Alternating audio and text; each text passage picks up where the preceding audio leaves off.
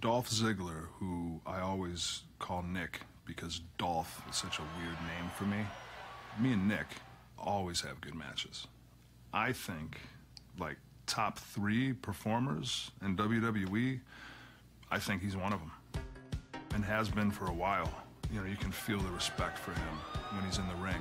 Guys will stop and watch because they know they're going to get something special. So every time I've mixed it up with Dolph, it's been, you know, extraordinary.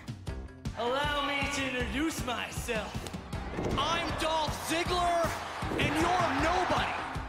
He's willing to do cool stuff. Sometimes, you know, it's hard to talk a guy into doing a certain thing that might make him feel like he looks stupid or Dolph don't care.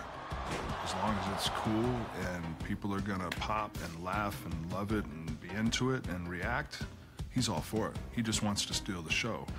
And uh, that's what we did that night.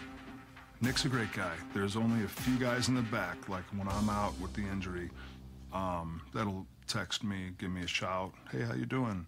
You know, Cody Rhodes, Big Show. There's a tight knit crew of guys who I actually consider friends, and Nick Nemeth is definitely one of them.